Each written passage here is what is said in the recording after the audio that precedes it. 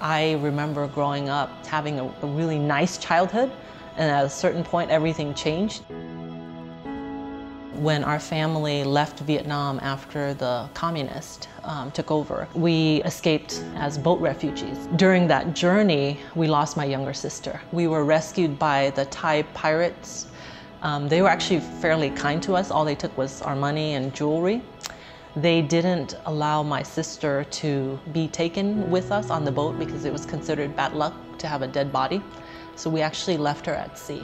And so that's one of the saddest things for my parents was never being able to bury their, their baby. We resettled in some of the Thai refugee camps, and then eventually we came to America. Growing up, I had a lot of questions about um, my sister's death. Um, you know, why was my life spared? Uh, why was I given a second chance? Um, you know, because I knew other Vietnamese families where their daughters were sold into slavery, prostitution, some died. The fact that I survived and our family survived and had a new opportunity in America, it really caused me to think a lot about life. And so I searched Buddhism.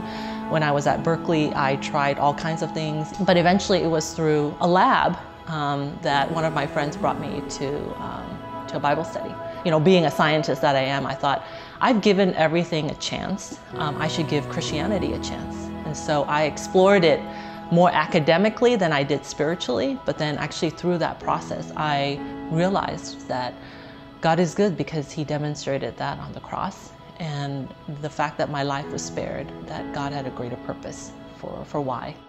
I think what really attracted me to Pepperdine is the Christian mission, that we are able to prepare students for a life of purpose, of service, of leadership to this world, which is so needed in this era.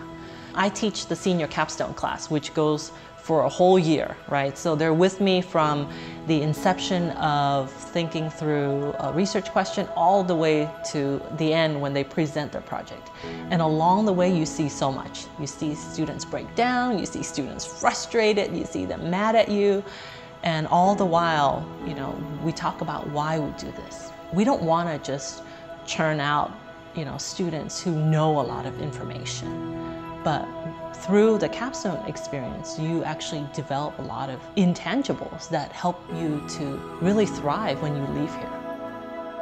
I strongly believe in taking students outside of the classroom because I can easily stand and lecture about AIDS Project LA, but it's another thing for students to actually go there and to meet with clients, um, to see the need in the community, and to know that you know, community health and nutrition is about being in community, being with, like what Jesus does. He is with the disciples, right? He is with the crowd. And I think that's an important realization for students, that every person matters in the eyes of God.